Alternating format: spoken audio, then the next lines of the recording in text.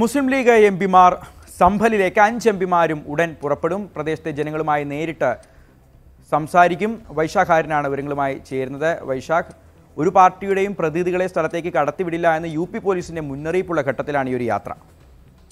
അതാണ് ഏറ്റവും പ്രധാനപ്പെട്ട കാര്യം ഷിഹാസ്. യു പി പോലീസ് അവിടെ വലിയ നിരോധനാജ്ഞയും അതുപോലെ തന്നെ വലിയ നിയന്ത്രണങ്ങളുമൊക്കെ പ്രഖ്യാപിച്ചിരിക്കുന്ന ഒരു സാഹചര്യമാണ്. പക്ഷേ ആ മുന്നറിയിപ്പ് അവഗണിച്ചുകൊണ്ട് മുസ്ലിം ലീഗിന്റെ എം പിമാരെല്ലാവരും അതായത് അബ്ദുൾ വഹാബ് അബ്ദുൾ സമദ് സമദാനി അതുപോലെ തന്നെ ഇ ടി മുഹമ്മദ് ബഷീർ നവാസ് ഗനി ഹാരിസ് ബീരാൻ എന്നീ എം പിമാരിൽ അടങ്ങുന്ന അഞ്ച് എം പിമാരുടെ സംഘമാണ് അല്പസമയത്തിനകം സംഭലിലേക്ക് പുറപ്പെടുക.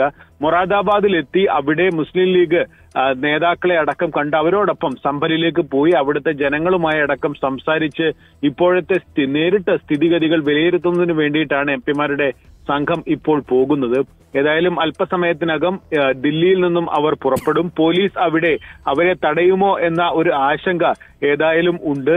ഏതായാലും അല്പസമയത്തിനകം പുറപ്പെടുമെന്നാണ് എം പിമാർ അറിയിച്ചിട്ടുള്ളത്. സംഭലിൽ ഇപ്പോഴും നിലവിൽ മുപ്പതാം തീയതി വരെ അനുമതി കൂടാതെ ആരെയും സംഘർഷ മേഖലയിലേക്ക് പ്രവേശിപ്പിക്കേണ്ടതില്ല എന്നാണ് യു പി പോലീസിന്റെ നിലപാട്. ശരി വൈശാഖ്.